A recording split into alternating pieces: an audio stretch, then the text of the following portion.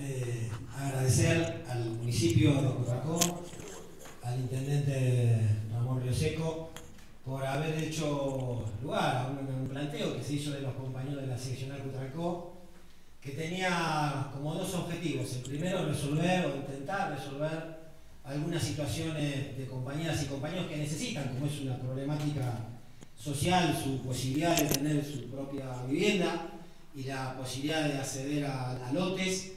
Y por otro lado, la posibilidad de permitir a nuestra organización, una vieja aspiración de los maestros, maestras, profesoras y profesores de la localidad, de contar con un espacio recreativo.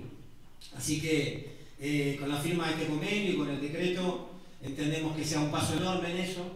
Para nosotros es muy importante permitirle a nuestras compañeras y compañeros empezar a soñar con su casa propia, con que se puedan radicar definitivamente en las localidades de la provincia, fortalecer el sistema educativo provincial eh, y la posibilidad de la vivienda y de, establecerse definitivamente en un lugar, eh, eso es fundamental.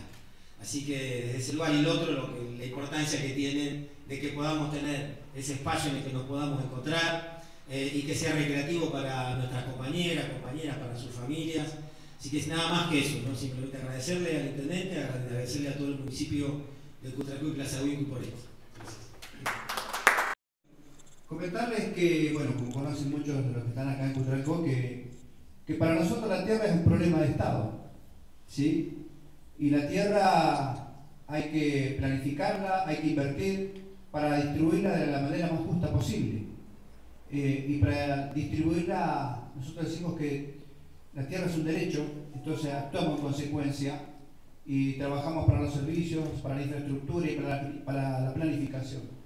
De hecho, esa consigna y esa propuesta y esa doctrina que tenemos eh, tiene su fruto porque no tenemos ninguna toma.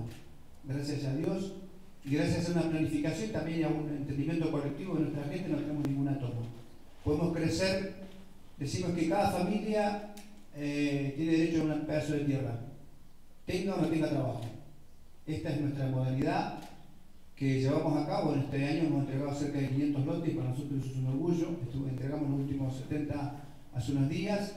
Y bueno, la idea es seguir trabajando con las instituciones, en este caso particular de ATEN. También entregamos a la gente de petróleo, a la gente de SUPE y a otros gremios que trabajamos en forma mancomunada como asociación eh, para construir de forma colectiva las viviendas, armamos cooperativa con la policía. Eh, de eso se trata, ¿no? de tratar de ir organizándose y darnos las manos y saber que el Estado tiene que estar presente en la distribución de la tierra. Sobra tierra en la Patagonia, no tenemos por qué pelearnos por la tierra, lo que tenemos que hacer es planificar e invertir, que es lo que hacemos sistemáticamente nosotros. Así que bueno, gracias por la confianza a la gente de ATEN, Marcelo, gracias por la confianza y bueno, a seguir trabajando y esperemos dentro de poquito tiempo estar entregando los primeros 20 que ya estamos disponibles y estamos esperando